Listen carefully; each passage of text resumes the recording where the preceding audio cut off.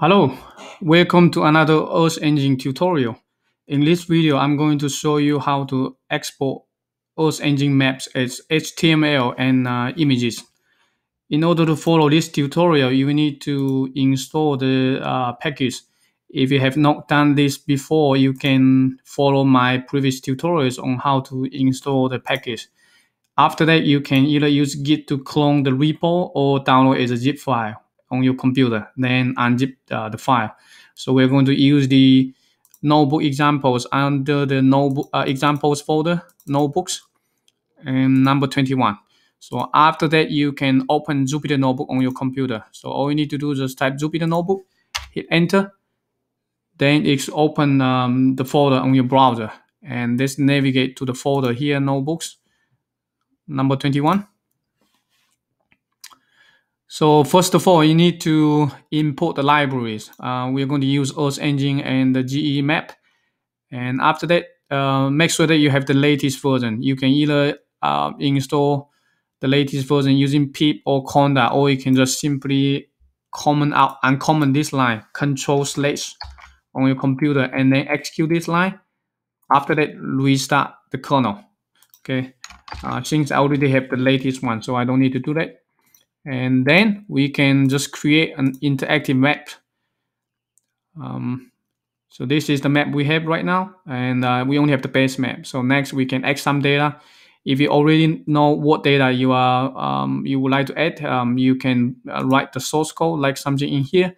If you don't know, you can just explore in here. So click data, and for example, I'm interested in land cover. So all we need to just type land cover then you select from the drop down list here. Um, there are a bunch of data set you can search using any keywords. So for here, I'm going to use the USGS gap um, U, uh, 2011, um, the land cover data. Oh, just click the import button. Then it's create a script in here. All you need to do is just execute. Um, then you should have the data right now here within Earth Engine. Okay, so this is one easy way that you can add data to Earth Engine. And the other way is you can, as I mentioned, you can write source code. So for example, I can add SRTM, uh, add land cover, Landsat, and also uh, feature collection, uh, basically uh, vector data. And then you can visualize. So these are all Earth Engine uh, syntax. Um, I can just simply just execute. Before I do that, I can show you here the layer, right? You, you will see the data layers in here. This is the first layer.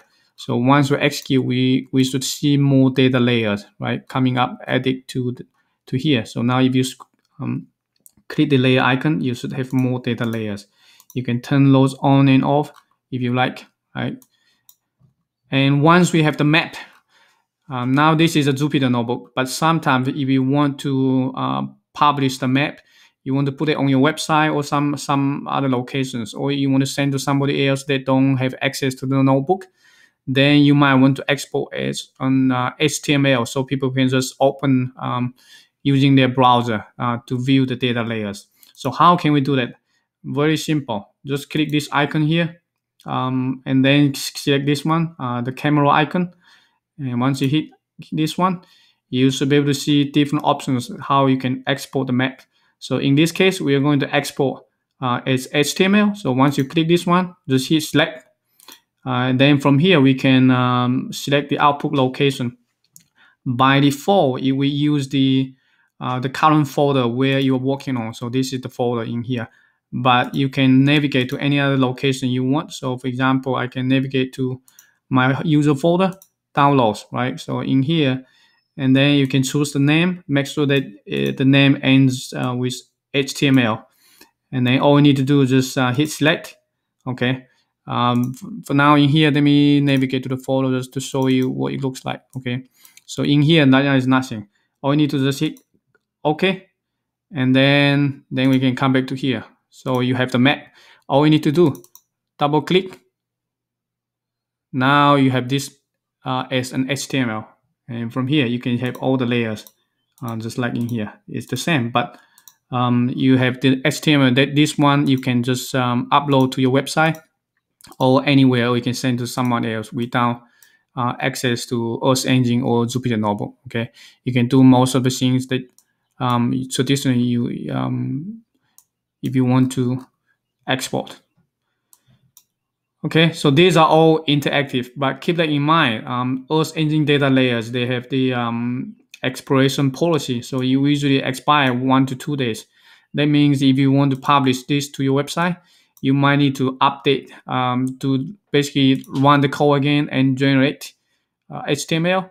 Um, otherwise, it will expire. The data layers won't show up uh, after it expires. So this is the, the downside. But you can certainly write a Python script to automate the process to regenerate um, um, the HTML. I will show you later. So this is one way you can customize, you can export the data layers. The second way is that you might want to export um, the map as a, a, JPEG or images that you might want to publish or you want to um, insert the images into some other documents. So how can you do that? Of course, you can just uh, take a screenshot, okay? But um, here I'm gonna show you an easier way that you can just do this. So let me maybe turn off the layer, um, just for example, just like this. So how can we capture the um, this entire one as an image so that you can insert to other documents? So first of all, make sure you maximize the window, okay? Because otherwise, when you use this one, it's going to capture the entire screen. Um, that's not good. So we just want the map only. So all you need to do is just uh, maximize the map, and then you can maximize whatever you want to uh, maximize. So uh, how about this? And then you click this one here, here again, um, the icon, and then you can change to P, uh, PNG or JPEG. Okay, so these are the two formats are supported. Then you just hit change. So from here, we can change to, uh, if you double click, um, you should re reset.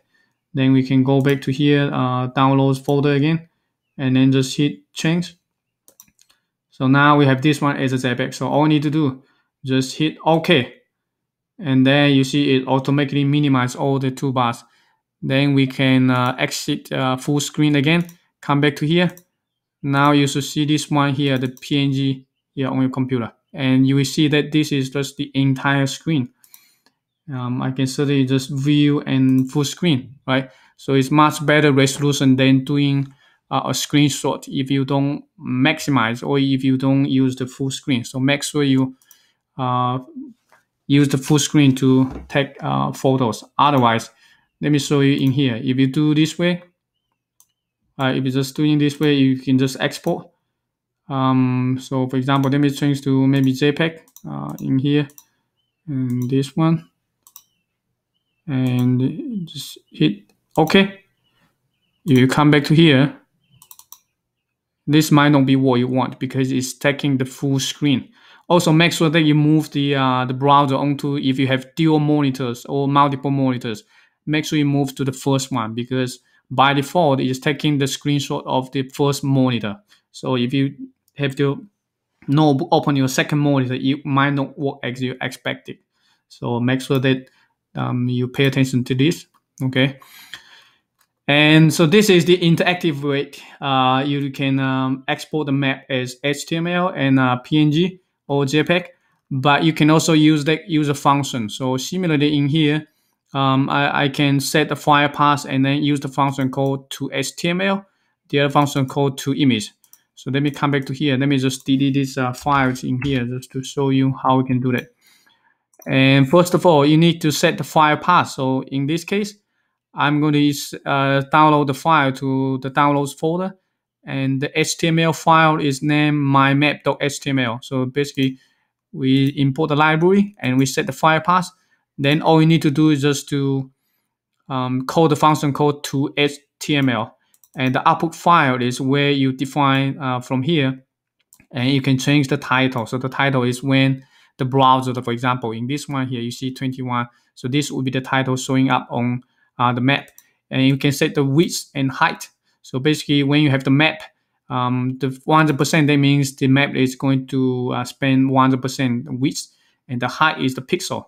So the height um, basically is exporting from here. If you see from this map in here, this one is taking 100% of this uh, uh, map, uh, the frame in here. But the height is not 100%. The height is based on how uh, height, uh, the height of the, the browser. So this one you need to set uh, pixels. This one can also set as pixels or percentage, but for the height, you can only set pixels. Okay, so by default, it's going to use 880 uh, pixels. Let's just execute and then come back to here. So now you have the map, right? So if you see from here, um, now you have the map. You will see here 800 might be too small. Yeah, uh, you, if you want to do the full screen, you might might need to increase the map. And similarly in here, you still have this control um, uh, available, but you need to keep in mind the um, this customized uh, uh, uh, toolbars won't be available. So only the standard one. So these are the standard ipyleaflet uh, um, toolbars and, and icons. This, these are the one that I added. It's, it's not available after you export the map. Okay, so just to keep it in mind, it's not perfect. I might support it in the future, but for now, this is um, what we can have. Okay, and like I said, this you can change to pixels or you can change to, for example, 50%. And I can also change this one to maybe 500. I can do it again. And okay, also the my maps, right? If you see here right now, the title here is called my maps. I can also change this one, for example, to here, uh, geemap, for example, okay? And then I just hit one and we can come back to here, double click again. Now this one, the title changes to geemap and you can see that right now the screen is only 50% uh, width and 500 pixels uh, uh, height. Okay, so this is you can easily customize depending on how big you want the map to be. Okay, so this is how to export the map as HTML. You can also export the map as JPEG or PNG, but um, this is not recommended because um, it's not full screen, so you won't have the best um, image. Uh, my recommendation is just to use here maximize and then you can take the screenshot. But um, if you want to customize, you can certainly can. So similarly in here, I'm going to download the map as a PNG and then I'm going to run. So this function is called to I uh, to image. Again, you can hit Shift Tab on your uh, keyboard to uh, see what options do you have, right? So the output and also the monitor. Because I'm here only using one monitor, so it's monitor one. But if you have multiple monitors, you might need to change this one and then I'll just map doc to image and it's going to take a screenshot of the entire screen in here. So if you come back to here, now we have this one. Like I said, this is not what you want. Yeah, you want to use the button, but um, the button actually call the function uh, because it's already maximized. So uh, it will take a screenshot for the entire one. Similarly, you can export as JPEG, right? So if you took this one, and um, if you if I come back to here, right? So if I execute, because right now this uh, cell block is selected, so if I execute, um, JPEG, right, you take this one. So it's um, not the best one. You can uh, crop the image to get um, just the map, but um, highly recommend that you maximize the map and uh, take the screenshot. Okay, so uh, that's all for this uh, video. If you enjoy this tutorial, please make sure you hit the like uh, button and subscribe to my channel. I will see you in the next video. Take care. Bye bye.